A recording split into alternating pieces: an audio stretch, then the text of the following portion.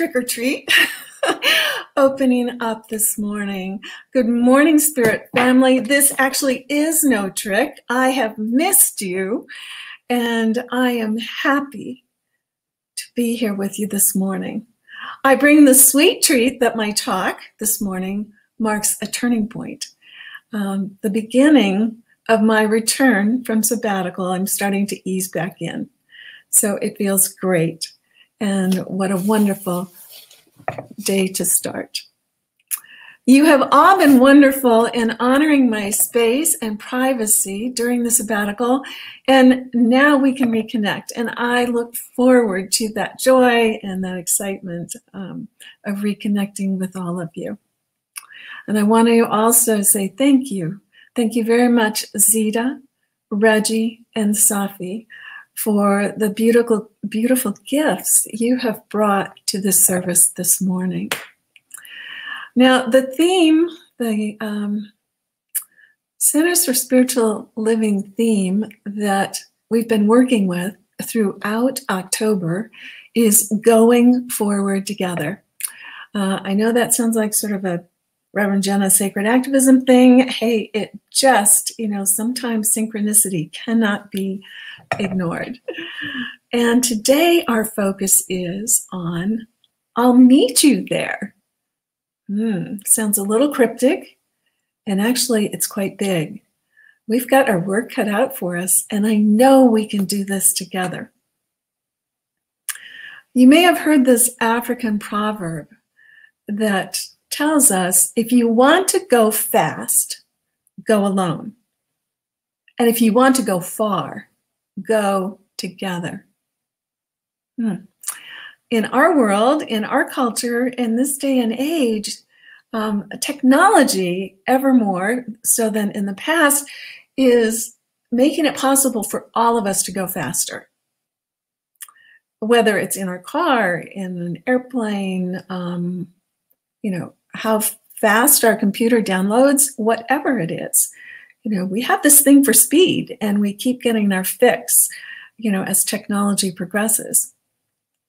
But we're going faster and at the same time, we're still carrying our past with us, not just our personal past, but also any cultural beliefs and practices that may not fit, um, you know, who we've become, what we've become, in this day and age.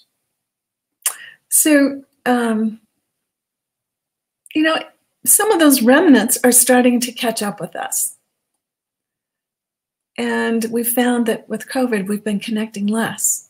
And perhaps we've even, with everything that's swirling in the world, um, personally, um, nationally, globally, we might start to feel a bit confused about what we're going to be called into and what our priorities and our values are. Might they need to shift as we go forward? But we do know in Science of Mind, spiritual principle is, it never shifts, but it is that grounding rod that allows us to shift and stay in our center. So it's interesting that we're facing a new twist on this African proverb of go fast alone, go far together. And with, this, with all the issues that we're facing in our world, we're actually be, being called to go fast together. So the proverb said, to go fast, go alone. To go far, go together. And we are being asked to go fast and far together.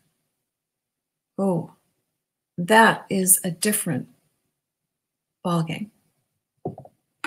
And it's going to require us, each of us, to be resilient and our, you know, not just us, but our nation and our world to be resilient and to collaborate in a divided world with competing interests. So we may also need to reevaluate those priorities to identify what we value most. both individually and collectively. So this is new. We're in a new world and we need to do this together. I know that in this community, we totally support each other and that we will come together. We will learn the ropes, we will practice, and we will be successful at this. But let's talk about this a little deeper. You know, some of my favorite shows, um, when I watch Project Runway, Making the Cut, or some of those HGTV um, home design competitions, it seems that across the board, the worst assignment that can be given is when these creatives, creative contestants, are given a team assignment.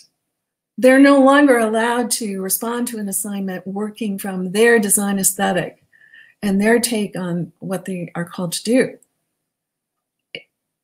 It's always challenging when they have to create as a team. So we need a new approach. And we may not all line up at the same at this starting line all at the same time. In other words, some of us may come into this realization and this readiness, or ready or not, here we go, um, place. You know, some of us may come into it in a staggered continuum. We may not be all present all at once, but it doesn't change what we need to do. So, what is spiritual about this? It's Sunday service. Um, what is spiritual about this? Let's reflect back on our global vision Centers for Spiritual Living, a world that works for everyone. You know, this is an absolutely magnificent vision. And who can't embrace this, desire this? Our teaching emphasizes that we vision it and we can learn to live into that vision you know practice being there um, put it on wear it a little bit um, what does it look like feel like all of that. Set our intentions for our world and for our role in bringing this forward. Go into spiritual practice build that muscle and act. Ernest holmes was also clear on that. We have to take action. We often talk about moving our feet. We pray and move our feet. So this month, this monthly theme we've had throughout October of going forward together supports that marvelous new world, um, that marvelous vision for the world that um, we have, the global vision. But here's the thing we have this wonderful vision. How do we bring it about? You know, that takes planning and logistics and coordination and collaboration and all sorts of things. That's ours to do. And while we are going fast and forward together, this is where step one is getting ready to be in this role so we really do it well and that we can be instrumental to creating a world that works for everyone in a peaceful, honoring, respectful, unifying way. So, how are we going to bring this about? Because we all have skin in this game. All right, well, here's some possibilities. These are the more familiar ones. Should we compete? You know, and when there's competition, we're likely to be losing time debating and trying to determine, you know, who ends up top of the mountain. Or we can flex our power and influence. Let the most powerful decide for us. Or we could follow a popular Hollywood or social media influencer. Question is, will we like the results? You know, or let someone else do it for us and we just sort of sit back. You know, these are the traditional ways. These are the ways that, you know, at least for a century or more, we, and in some ways for much longer, humans have gone about addressing change. Um, and I are, you know, and sometimes there are other ways that are more violent as well. We have so many options. Which is the most likely to create a world that works for everyone in a beneficial way? So it's really calling on us to dive deeper in this philosophy, in our faith, in our trust, in our belief, and in our manifestation. We need to go deeper. That's what's spiritual about this. Each of us upping our game, upping our alignment in our actions in oneness with the Creator, so we can start to live more seamlessly as an inseparable team. You know, we affirm that we are one with God and we are one with all creation, including the planet. And yet we're not always operating that way in our day to day lives. There isn't a day that goes by that my personal spiritual practice reflects on. I am inseparably one with God. God and I are partners. And then I live into that. And I invite you to try that on and, and see if that helps you go more deeply into that living alignment. We give voice to being all one, one with each other and one with the earth. It's time now that we do this as an inseparable team at the earthly human level as well. And this really calls us to pay more attention now. Excuse me. Um, to the spiritual code the master teacher Jesus gave us 2,000 years ago. Do unto others as we would have them do unto us. We embrace that. And now we're called to live that more deeply. So let's start piecing a path together. And um, I'm also going to be pulling in a lot of quotations of Ernest Holmes from the October Science of Mind magazine dailies.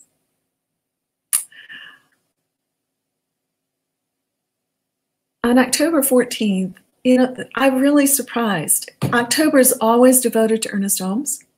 And I was surprised this year that there were some quotations in there where he makes mention of some things on the more troublesome side. And so that's going to crop in here as well. But these are quotations from Ernest Holmes. On October 14th, there's, um, I'm quoting from the on October 14th about the topic of creating the future. Because we know that our thought is creative, our feelings are creative, and we have a new future to create together. Holmes said if our experiences are the result of our thoughts, then the future, if it is going to be given birth from the present, will be largely the content of our current minds, feelings, faith, and fear.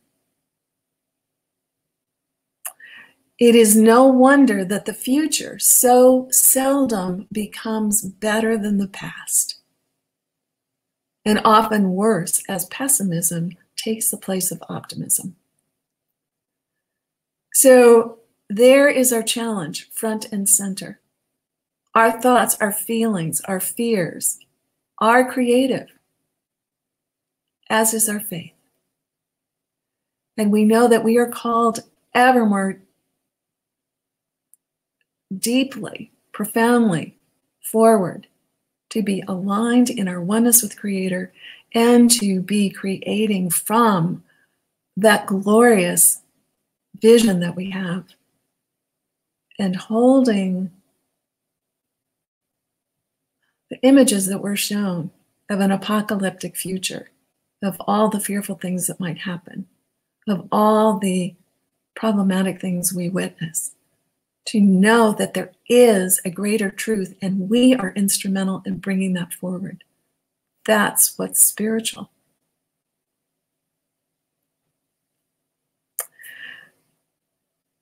So let's keep in mind that our thoughts now create some future effect. What we are living in presently is the after effect of some thoughts, feelings, and fears in the past. That's where we are called to mindfulness and spiritual practice and faith. Because we are collective. It's not only that our thoughts are creating, but as a human species, every thought is contributing to collective mass consciousness, to that future in every moment. I mean, let's think about the deposits, the contributions we're making to mass consciousness amongst all the mass consciousness that's been built around apocalyptic movies, um, video games, and so on and so forth, and the news cycle. So, how do we consciously and collectively create this together and do a better job this time? You know, we have a chance to do a do over, but we don't know if we'll be able to do over our do over. So, we have to get it better, much better, do a much better job with it this time around.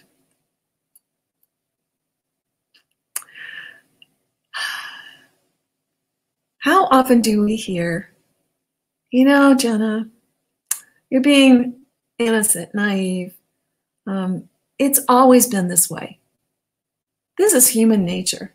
Just give it up. Stop trying to create a better world. Humans are just this way. And every time this I hear that, and you know, I wouldn't be surprised if all of us would say, you know, at some point I've said that myself. I probably have said that myself. I'm gonna, you know, I'm gonna confess to that. But at this stage in my life, I really bristle when I hear that. Because for me, it deflects, but more than deflects, it's a why bother. And let's take it back to what we were just talking about. That why bo- that why bother is really saying, you know, all that momentum of all that mass consciousness that's built up, well, we're just going to let it keep building. We're just going to let it continue, you know, to reiterate what's been before. Technology might be different, the poles might shift, but we're just going to let it keep going. I bristled there. And, you know, sometimes I just want to rudely say, hey, you know, I hear what you're saying. I want to recognize that. And let's consider as humans, we don't live in caves anymore. Right? We're no longer constrained to the ground. We figured out how to fly. I mean, we even have flown to the moon and Mars. Gay marriage used to be unthinkable, and now it's inevitable. So humans do change. And, you know, maybe we need to have a fest in which we just start a rant on all the incredible things that humans have changed, what has changed. So we know we can do it. There's another part of our human nature, and that is that every thought and feeling is creative. And when we choose to come together and we choose to believe a new vision, a higher vision, and enough of us choose that and believe that, then things change. So I want to pose these questions to you. Have we changed how we treat each other? Have we chosen to see the divine in each other as our top priority and to do this no matter who we are dealing with and no matter how greatly they may trigger us? Have we chosen to create more, a more just and compassionate world? These are choices, and we are always at that choice point. And so we can do this. What are we choosing? How are we going forward together? You know, artificial intelligence is programmed by humans. Our mass consciousness is programmed by us. So let's choose our new deposits into that mass consciousness. And I've been going through this with some of the young ones in my family who have been saying the same thing. You know, it's just the way things are, it's human nature. And I have this discussion with them that when we believe that, when we buy into that's just the way it is, that's human nature, we are reinforcing that myth and we are forfeiting our creative power. But when enough humans choose something greater and new and different, the world changes. And most of all, one of the key changes we need to make is we need to start operating out of duality. Whoa, wait a minute. I've been saying this to myself more and more get out of duality. The young ones in my family have been saying, get out of duality. But that's almost one of those paradoxes that we can't quite grasp, but we need to, and we can. So, interestingly enough, there's always wonderful synchronicities happening in the world, in our universe. We've heard about 100 monkeys, I believe. Most of you have heard about that. And if not, uh, just paraphrasing very briefly, um, scientists years back recognized that that we're observing um, monkeys in the wild. Notice that if one of them changed, it took a while for a few others to change, and then a while for a few others to change. But there was a tipping point at which, and it was, I think, approximately 100, and that's where it got titled, that there was a tipping point at which, when enough of them had adopted that new change, maybe it was using a stick as a tool or whatever it may have been, suddenly everyone changed. It was that point where it became present and adopted everywhere. And just this past week, when I was traveling, I happened upon an issue of Yes magazine um, and in that, there was um, an article on the 25% tipping point. A, um, a social change scientist what has been exploring and um, researching what works in terms of social change and learned that there is a specific tipping point for humans and social change. And that is 25%, not 24%, not 23%, not 20%, 25%. And what he learned is that when 25% of us start to adopt, um, start to uh, accept an idea, when it becomes mainstream and accepted at that 25% of the population level, that that is when there is just this momentous cascading effect of it becoming acceptable by the majority of the population and social change ensues. So I titled my talk this morning, I'll Meet You There. It sounds perhaps a little cryptic, and my first go to is, of course, you know, the question is, what does this mean? Uh, and my first go to, of course, is that famous saying by Rumi out beyond ideas of wrongdoing and right doing, there is a field. I will meet you there. For me personally, that field is a field of consciousness. That field is the field of, di- of divine order. That field is the field of being in alignment and oneness, being in our divine birthright of inseparably one with Creator, with whom we partner, and with every point of creation. That is the field beyond right doing and wrongdoing. That is the field that is beyond duality. So let's meet there because Rumi is calling us out of duality. He's calling us out of separation. You know, whenever we are at odds with one another, we are separate. Whenever we say it's okay to damage the environment and pollute it or whatever for profit, that is separation from all of creation. So let's think about that field that is beyond right doing and wrongdoing, that divine field of oneness and divine consciousness in which we are all one and from which we have come forward out of duality. Um,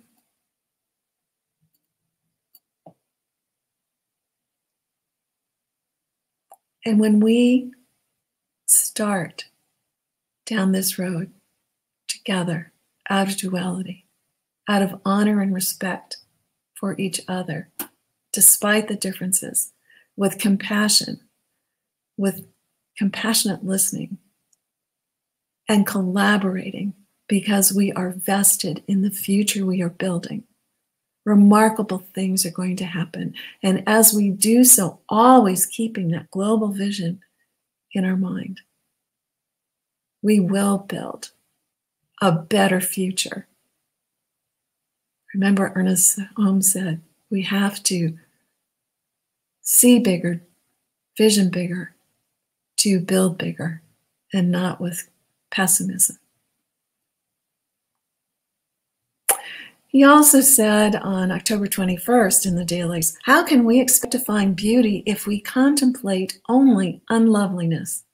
The kingdom of heaven must be a state wherein one senses unity with good, the unity of all people with good. That's our call. That's our spiritual calling.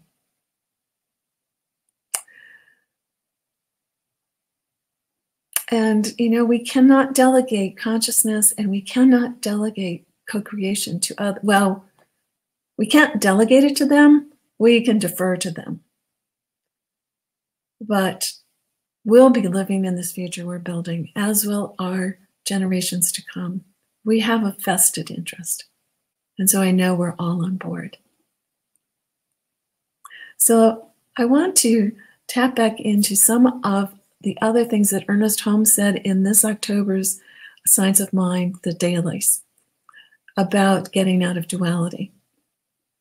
Today, the reading for today from the Voice Celestial was about seeing the real. I must find the real. I'm going to read these. I must find the real behind the things that seem. And then he goes on to see, say, and this one amazed me and creeds and creeds. I shudder here. How often they affirm damnation. From them, no answer comes to me. This is calling us out of that realm of effect and to see the divine real behind all illusion, behind all shadows behind all the news cycle, behind everything. The reading for yesterday, October 30th, from Creative Mind See God in all. Learn to see God in all manifestation, in all people, through all events, and I will add every place that is earth. The infinite one manifesting in an infinite variety of forms. The body is not one mass of pollution. It is the temple of the living God. And when we are in that field of oneness of all creation, our body temple is every one and every aspect of this planet. On October 29th, um, he talks about God's language. All of us are rooted in the universal mind of God, the most dynamic reality in the universe. Don't be afraid to talk to God. But he, tell, he clues us in God speaks a certain kind of language, and there is nothing negative in it. And so that calls us to recognize what is less than desirable, but not to speak negatively. In other words, recognize where we are, what needs to change, but we don't have to disparage it. We don't have to disparage it.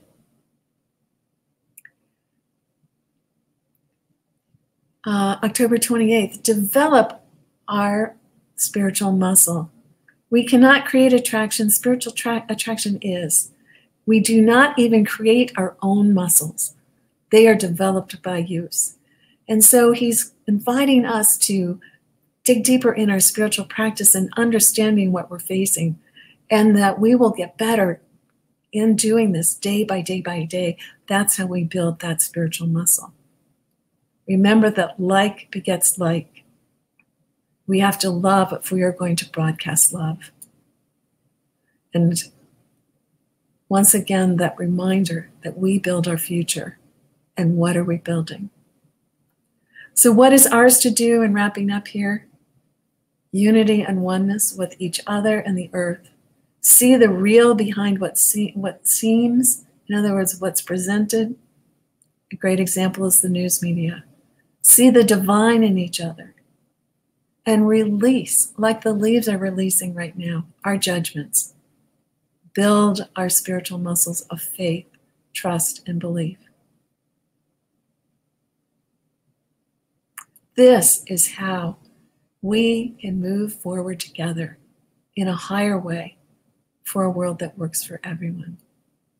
So let's meet in that field of divine consciousness and oneness and create a just, healed, and loving world for all. And in keeping with the times and our need of releasing the past so that we can go forward, I'd like to close with a poem by Lucille Clifton. The leaves believe. Such letting go is love. Such love is faith. Such faith is grace. Such grace is God. I agree with the leaves. And so it is.